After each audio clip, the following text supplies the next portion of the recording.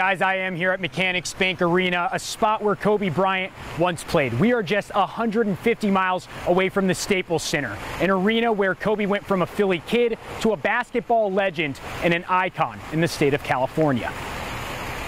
Playing all of his career here for one team in California, uh, uh, I think means a lot to not only uh, uh, Laker fans, but the people here uh, in Bakersfield. The purple and yellow fandom runs up the five and into Bakersfield. Kobe Bryant played in LA, but meant everything to basketball fans in the 661. I've been with uh, Laker fans since I was eight years old and with Kobe since the start, man. Kobe played in Bakersfield during Lakers preseason games. His last trip coming in 2007 when the Lakers took on the Seattle Supersonics in what was then known as Rabobank Arena. He scored 20 and had the crowd chanting his name, never to forget the classic moves they saw. Here in Bakersfield, you know, you playing with a lot of these young guys at the park. You know, you see his, you see his game. You see his game constant.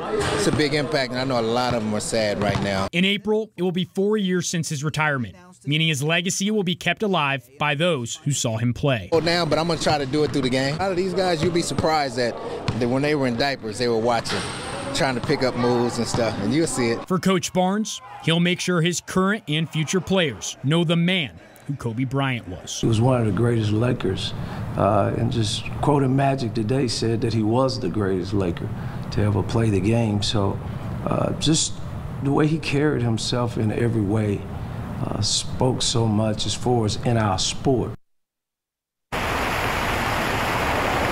Coach Barnes said he was in church when he heard the news. We spoke with him today, obviously, and Larry Wright, as you saw in that story. But it should be noted, emotions are hard to put into words for most people. We were denied numerous times to speak with people on camera because they just thought they wouldn't be able to hold it together. Kobe Bryant meant a lot to the people of Bakersfield.